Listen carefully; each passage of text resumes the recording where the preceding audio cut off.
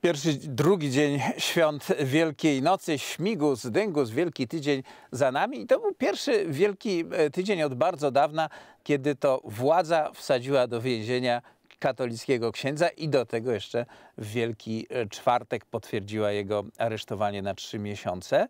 No ale ponieważ wybory już za tydzień, politycy jakoś muszą z tego wybrnąć, również politycy rządzącej partii. Zobaczmy, jak im się udało.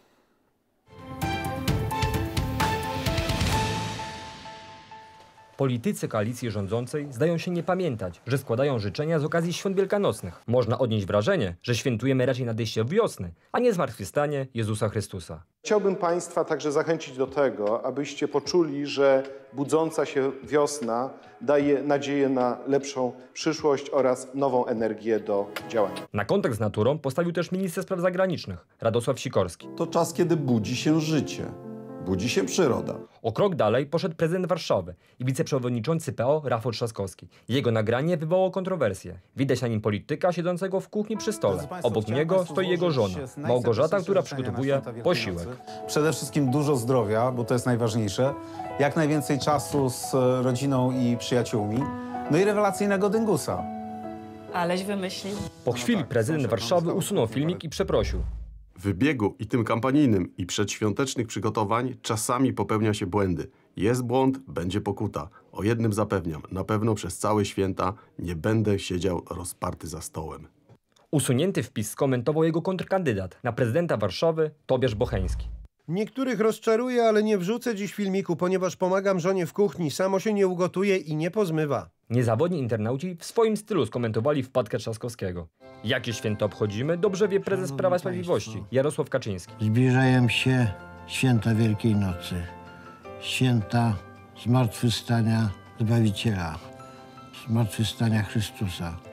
Życzę Państwu, żeby były to święta błogosławione. Swoim świętowaniem postanowił się podzielić wiceminister sprawiedliwości Arkadiusz Myrcha, choć nie wszystko wyszło tak jak powinno. Wielka Sobota to tradycyjne święcenie koszyczków. Oczywiście w rodzinnym gronie. Internauci pozostali bezlitośni. Koszyki to se możesz święcić na bazarze. My święcimy pokarmy. Choinkę już pan ubrał? A skoro jesteśmy już przy choinkach. Czas to szczególny, świąteczny taki. Można powspominać jedni o trzech królach, inni o sześciu, chociaż już się poprawiają i mitygują. Pamięta pan w ogóle imiona tych y, króli? Kacper, e, Kacper Belzebub, e, Melchior i Baltazar. Ciekawe jaki dar nowonarodzonemu Jezusowi Chrystusowi przyniósł Belzebub. Bogusz Jankowski, Telewizja Republika.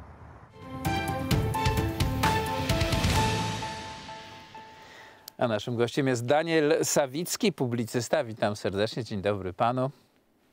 Dzień dobry panie redaktorze, dzień dobry państwu. No i jak, e, dlaczego politycy rządzącego obozu mają taki kłopot z złożeniem zwykłych życzeń na święta wielkanocne?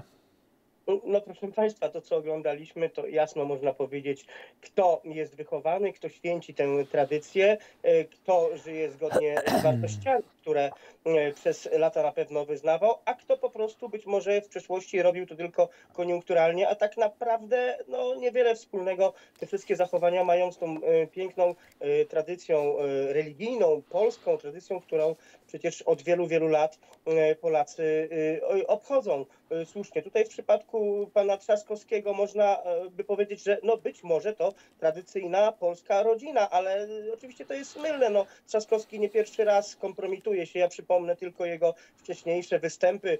E, Sam określił się tak zwanym no, na D, to słowo mi nie przejdzie, prawda, przez, przez usta, bo to dosyć wulgarne w stosunku do kobiet. Wtedy też przepraszał, e, wtedy również było widać tę pogardę do kobiet. To, co ci ludzie prezentują e, na zewnątrz, o czym mówią, prawda, prawa człowieka, prawa kobiet stawiają na tym pierwszym miejscu, to, to jest ta popularna ściema, mówiąc młodzieżowo. To nikogo nie interesuje w tym gronie tak naprawdę, a kobiety są tylko dla nich taką wydmuszką. No, są potrzebne, to są, to gdzieś tam o nich mówimy, ale tak naprawdę, proszę, to jest obraz, który, który pokazuje mm, traktowanie kobiet i rzeczywistość, jaka jest w głowach e, tych osób. Co do samego składania życzeń, czyli mówieniu o tym, że budzi się natura, prawda, wiosna, no budzi się natura i wiosna, ale no za chwilę możecie panowie będą sięgać jeszcze do jakichś bóstw, nie wiem, y, Swarożyca albo innych, bo nie przejdzie im przez gardło y, mówienie o najważniejszych świętach. A y, dlaczego im nie przejdzie? No, na, dokładnie, no i nie przechodzi im, jak, jak widać. I tutaj pan Myrcha, no, znany z tego Belzebuba, zasłynął tym powiedzeniem już kilka lat yy, temu. Być może to moż, można wsadzić tylko jakiś kanon, yy, prze, no, że, że źle się wysłowił po prostu, tak? No tak. Przejęzyczenia. Ale no, no, Trwa to- również to- e, kampania wyborcza i dzisiaj 1 kwietnia Tobiasz Bocheński, kontrkandydat Rafała Trzaskowskiego napisał tak. Zobaczymy. Pan pamięta, że e, Rafał Trzaskowski rozpoczął e, zarządzanie Warszawą właśnie od strefy relaksu. Nowa obietnica wyborcza na każdym placu Warszawy powstanie. Strefa relaksu za milion złotych. Każdy warszawiak będzie mógł za pomocą taśmy klejącej samemu skonstruować wygodne miejsce do siedzenia. Zwycięzca konkursu na najlepiej złożony fotel będzie mógł ze mną na, nagrać klip w kuchni. Ciekawe, czy będzie zmywał naczynia. Daniel Sawicki Świetne. komentuje. Świetne, świetne podsumowanie e, tego, co, Trzaskowski e, robił i, i, i co robi i po prostu. Tam kampania w pełni, no Tobiasz Bocheński myślę, że wykorzystał e, to potknięcie kolejny raz, a nawet to potknięcie to jest bardzo drobne słowo, to co zrobił Trzaskowski, jak się zachowuje w takich krytycznych momentach, bo proszę Państwa, cały ten spektakl polityczny, który obserwujemy, on ma zawsze jakiś wydźwięk i to jest, i to jest jasne. Natomiast w takich właśnie momentach, w momentach ważnych, można powiedzieć w momentach krytycznych, poznaje się tak naprawdę tego człowieka, jaki on jest, jakimi wartościami się kieruje, e, co tak naprawdę w nim siedzi, kiedy on jest prawdziwy, a kiedy po prostu udaje tego świetnego, wspaniałego, e, nowoczesnego Polaka, nowoczesnego człowieka. Trzaskowski po raz kolejny, powtórzę to, e, kompromituje się, prawda? Przecież te wszystkie słowa o tej super nowoczesności, no, gdzie kobieta w kuchni u Trzaskowskiego, to absolutnie... Ale wie pan, to- myślę, że się zmieniło, bo jeszcze te 20 lat temu, no to każdy nowoczesny Polak był katolikiem, e, chodził do kościoła, dzieci na religię i tak dalej, i tak dalej. Teraz się zmieniło i trzeba jakoś się z tego wycofać, udawać, że tego nie było, że najważniejsze są te tak zwane kobiety, bo przecież to nie chodzi o kobiety w sensie biologicznym, do których oni się odwołują i stąd to e, pewnie wycofanie tego klipu, no, który w sumie mógłby być. No, tam nic się takiego nie stało. Mam wrażenie, że jego paniczne wycofanie e, zaszkodziło bardziej niż samo pojawienie się tego klipu. No, no i właśnie to jest ten e, przysłowiowy koniunkturalizm. To jest właśnie to, kiedy on jest, e, kiedy Trzaskowski jest prawdziwy. No bo ta moda, prawda, to e, naprawdę to zdziczenie przychodzące do nas z tej lewackiej Europy e, powoduje wynoszenie pewnych wartości na piedestał, wartości, które w Polsce one zawsze były ważne. Natomiast nigdy nikt nie robił z tego takiej nachalnej polityki. Nikt nie, nie, nie przerabiał tego w tą, w tą politykę. Nie odwracał tego dekalogu zasad, którymi się zawsze Polacy kierowali. Tutaj następuje coś innego i Trzaskowski cały czas próbuje się wpisywać w ten nowoczesny y, trend, natomiast tak naprawdę widzimy, że sytuacja e, pewnie jest zupełnie inna.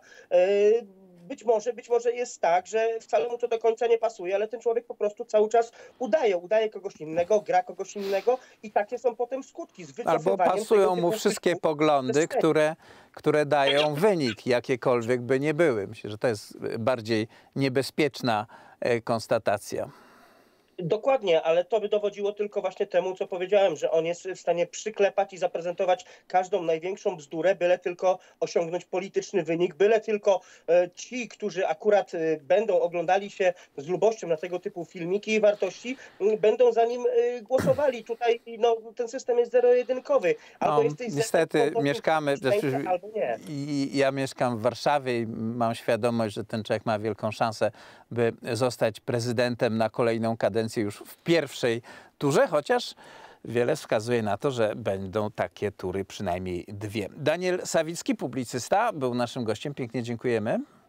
Dziękuję bardzo, pozdrawiam. A my, proszę Państwa, przyjrzyjmy się temu prezentowi, który sprawiła nam koalicja 13 grudnia, mianowicie zniesiony VAT na żywność, co oczywiście podniesie inflację.